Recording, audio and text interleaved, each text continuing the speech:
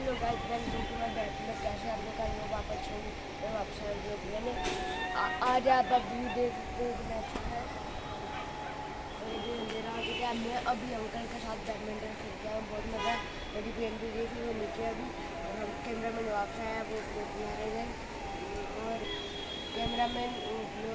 दिन को मैं स्कूल गया था उधर से मैं वापस आया, फिर मैं सो गया